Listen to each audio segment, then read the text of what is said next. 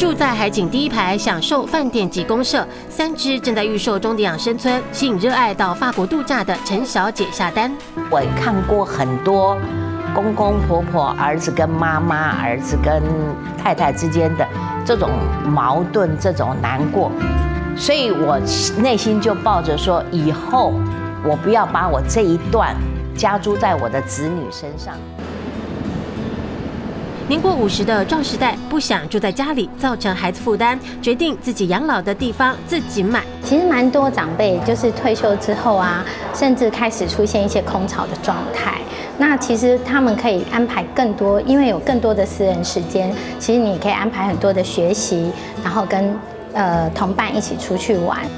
和同个时代的人一起开心变老，新的人际关系对壮时代来说有多重要？台湾老年医学暨老年学会杂志报道，七十五岁以上长者孤独感盛行率高达百分之三十九，又有百分之五认为无时无刻感到孤独。后续也有研究指出，每周历经三次或是三次以上的孤独感，可能增加晚年罹患失智症的风险，瞬间老的情况比吸烟还要严重。因此，三支养生村千平基地预计规划一百三十多。户算一算，超过一百人一起养老，有不老学堂，能提笔上课学茶染绘画，或是找专家指导品茶。无论健康和亚健康壮世代，日常需要的服务这里都有。在软体的部分，我们有整个康养的团队，我们有护理师，好，有老福专业的人员，然后有社工的带领。那我们二期来讲是饭店式设计，哈，我们一楼呢甚至跳高到六米以上，一般住家其实四米二就已经够高了。硬体拉高到饭店规格，软体上有康养服务，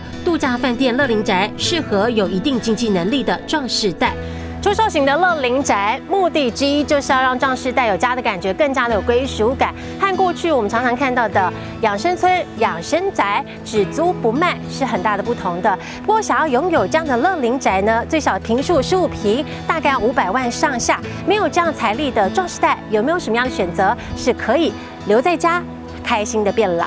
东海大学推出开放式养生村，以校园为核心，将附近社区的高龄服务系统化和模组化，整个社区就是一个养生村。有一些高级的养生村，绝对是生活条件无余的，但是他不熟悉，他没有亲友。慢慢慢，我们就发现说，哎，我们好像可以把不同的理。他们的活动中心把他们看成是一个一个的养生村，然后以东海大学为中心，我们有学生，我们有老师，我们有有。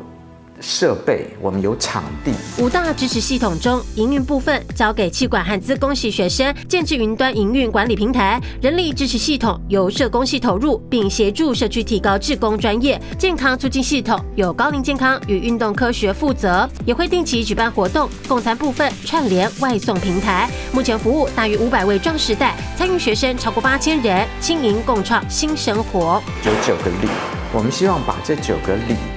的李明，哎，我们轮流出去，出去找他们，那他们也能够轮流过来，让他们李跟李之间的阿公阿妈们能够有一些交流，透过活动，透过各种呃我们的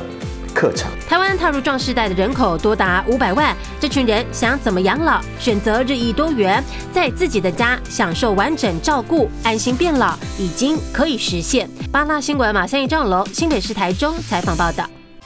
十八位玩八方，锁定八大民生新闻，记得按订阅，开启小铃铛哦。